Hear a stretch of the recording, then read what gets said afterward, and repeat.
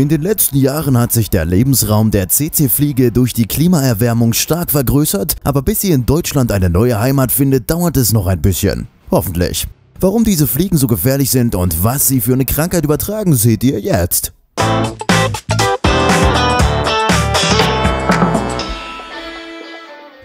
Die Schlafkrankheit, auch afrikanische Trypanosomiasis genannt, ist eine Tropenkrankheit, die von Parasiten ausgelöst wird. Dabei handelt es sich um einige Unterarten der Parasitenart Trypanosoma brucei. Auf den Menschen wird der Parasit über die CC-Fliegen übertragen. Ein einzelner Stich genügt und man ist ohne Behandlung dem Tod geweiht.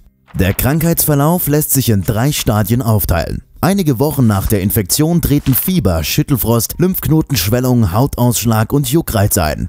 Weitere Symptome des ersten Stadiums sind Gliederschmerzen und Ödeme, also Gewebsschwellungen durch Einlagerung von Flüssigkeit. Nach einigen Monaten beginnt das zweite Stadium.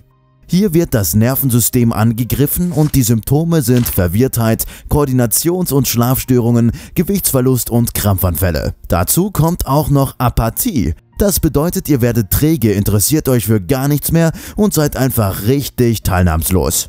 Im dritten Stadium verfällt der Betroffene in einen schläfrigen Dämmerzustand, ähnlich wie ein Koma. Daher kommt auch der Name Schlafkrankheit. Der stark geschwächte Körper ist jetzt sehr anfällig für andere Infektionen und nach einigen Monaten oder Jahren endet die Schlafkrankheit tödlich. Die Weltgesundheitsorganisation schätzt die Todesrate auf etwa 50.000 Todesfälle pro Jahr. Momentan leiden schätzungsweise eine halbe Million Menschen an der Schlafkrankheit. Jedes Jahr kommen ca. 30.000 Neuerkrankungen dazu. Wird die Krankheit im ersten Stadium korrekt behandelt, bestehen gute Heilungschancen.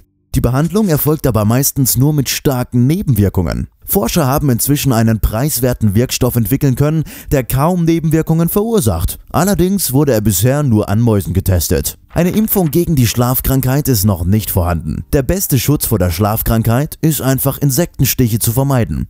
Das ist aber einfacher gesagt als getan, da die aggressiven CC-Fliegen jedes freie Stückchen Haut angreifen.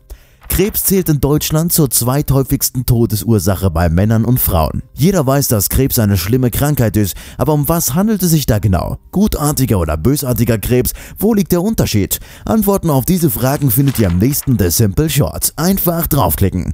Wenn es euch gefallen hat, dann teilt dieses Video und gebt einen Daumen nach oben. Haut rein Leute, bis dann und ciao.